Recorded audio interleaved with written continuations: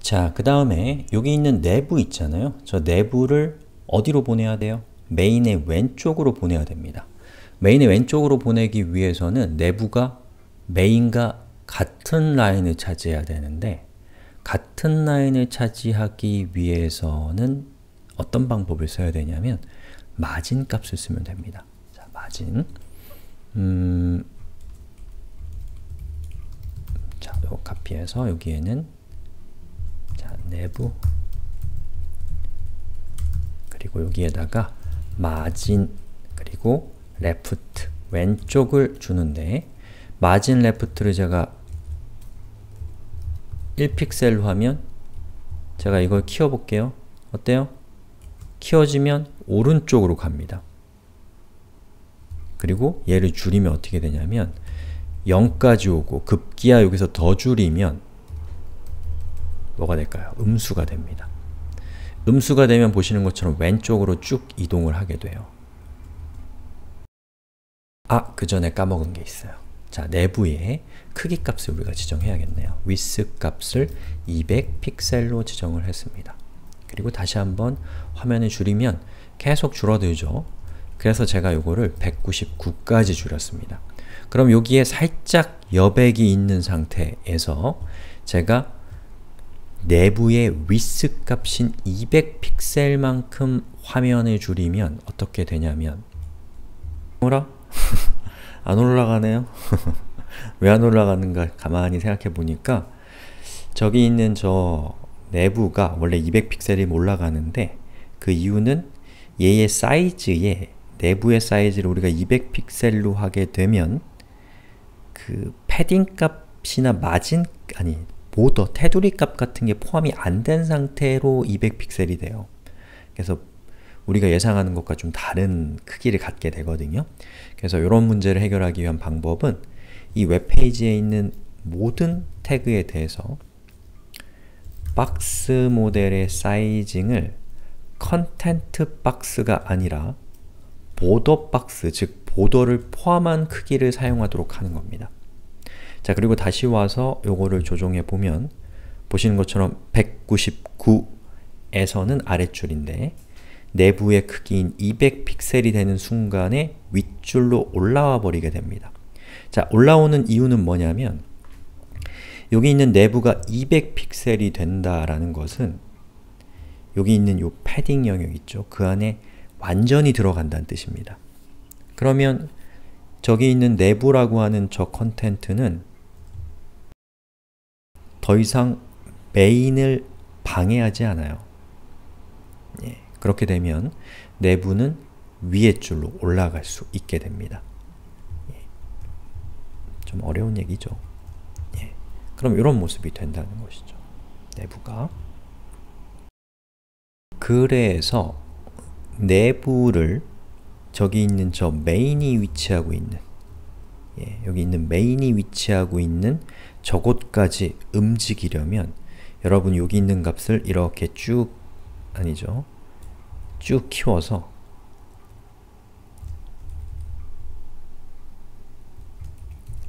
뭐 400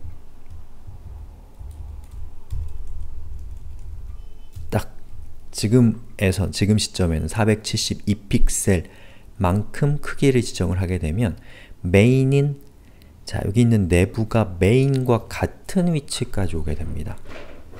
자 근데 여기 있는 472라고 하는 저 값은 우리가 화면의 크기를 달리하면 또 달라져요.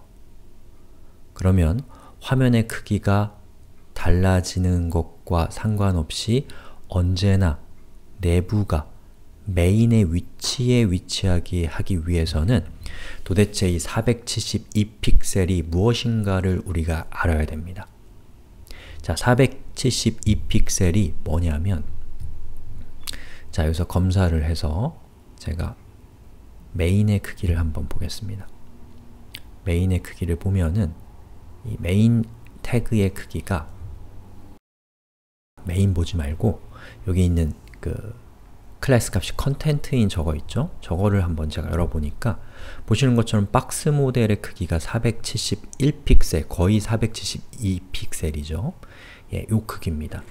즉, 우리가 여기에 있는 내부의 크기를 여기 있는 그 내부를 감싸고 있는 이 section의 content 크기만큼 왼쪽으로 바뀌게 할 수 있다면 그러면 언제나 내부는 main과 같은 위치에 위치하게 할 수 있다는 겁니다. 하, 진짜 어렵죠. 자, 그래서 요거를 요렇게 해주시면 돼요. 결과는 100%로 해주면 마이너스 100% 그럼 보시면, 보시는 것처럼 화면의 크기를 아무리 바꿔도 내부는 언제나, 언제나는 아니죠. 대체로 메인과 같은 위치에 위치하게 됩니다. 대충 아시겠죠? 자, 근데 이제 이게 우리가 최종적으로 원했던 건 아니란 말이에요. 아유, 어렵다. 어떻게 하죠? 자, 이게 우리가 최종적으로 원했던 건 아니고 여러분들과 제가 원했던 것은 저 내부가 여기 있는 이 왼쪽 여백에 착 달라붙는 겁니다. 그럼 여기에다가 더해서 뭘 하면 되냐면 이 상태에서 지금 내부가 위치하고 있는 이 상태에서 내부를 200픽셀만큼 왼쪽으로 더 전진시키는 거예요. 자, 그걸 하기 위해서 저는 내부의 왼쪽 레프트를 마이너스 200픽셀만큼 하면 내부가 왼쪽으로 200픽셀만큼 더 움직이게 됩니다. 그런데 꼼짝도 안 하는 것은 내부의 현재 포지션 값이 static이기 때문입니다. 저걸 relative로 해야지 그때 움직여요. 그럼 됐죠. 예, 이렇게 되는 겁니다. 자, 그 다음에는 여기 있는 오른쪽에 있는 aside를 여기로 위치를 시키셔야 되는데 자, 그걸 하기 위해서는 뭘 할 거냐면 여기 있는 aside의 부피를 확 줄여버릴 거예요. 자, 여기 있는 aside가 main 밑으로 이렇게 내려가 있는 이렇게 내려가 있는 이유는 뭐냐면 aside가 자기 자신의 어떤 크기가 있기 때문에 크기가 존재하기 때문에 이 main과 같은 위치에 있을 수 없으니까 밑에 줄로 내려온 거거든요. 좌천된 거예요. 예, 그럼 어떻게 하면 되냐? main이 aside의 실제 크기를 마치 존재하지 않는 것처럼 실제로는 있는데 그렇게 부피감을 확 없애버리면 어사이드는 굉장히 홀쭉한 녀석처럼 취급되기 때문에 이 위로 이렇게 올라올 수 있게 됩니다. 그때 사용하는 방법이 바로 마진이에요. 제가 준비한 예제 한번 볼까요? 자, 여기 보시면은 여기에 그 요거 보이시죠? 여기 있는 inner라고 되어 있는 것이 요거예요. 그리고 옆에 other라고 되어 있는 것이 바로 여기 있는 파란색 박스입니다. 그리고 제가 여기 있는 inner에게 inner의 margin margin right 값을 제가 10픽셀을 주면 어때요? 보시는 것처럼 inner는 inner의 오른쪽 마진 값이 커지면서 other가 옆으로 비껴납니다. 그 얘기는 뭐예요? 어, inner가 마치 저만한 크기를 가지고 있는 것처럼 동작한다는 거죠. 반대로 여기 있는 inner를 inner의 사이즈를 제가 마이너스로 빼게 되면 보시는 것처럼 other가 어떻게 돼요? 왼쪽으로 오죠. 그 이유는 뭐예요? 예, 마진은 어, 마진 값을 음수로 주게 되면 그런 효과가 나는 거예요. 그 태그의 크기가 작아진 것 같은 효과가 나는 겁니다. 실제로 태그의 크기는, 시각적인 크기는 유지되지만 그거의 부피감이 달라진다라는 겁니다. 그럼 우린 이러한 속성을 이용해서 여기 있는 이 레이아웃 상에서 aside의 부피감을 확 죽여버리는 거예요. 아, 말이 좀 흉한가요? 자, 해볼게요. 자, 여기에서 aside의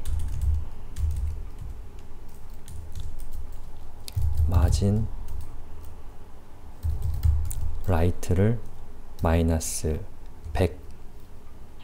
150 픽셀만큼 주면 보시는 것처럼 aside는 aside의 현재 크기는 뭐냐면 어? 제가 안 적었네요? aside, aside 왜 없죠? 위스 값을 제가 150 픽셀로 했습니다. 자, aside는 150 픽셀만한 크기를 갖고 있는데 margin의 right 값을 마이너스 150으로 하면 그 얘기는 aside는 부피감이 없어진다는 뜻이에요.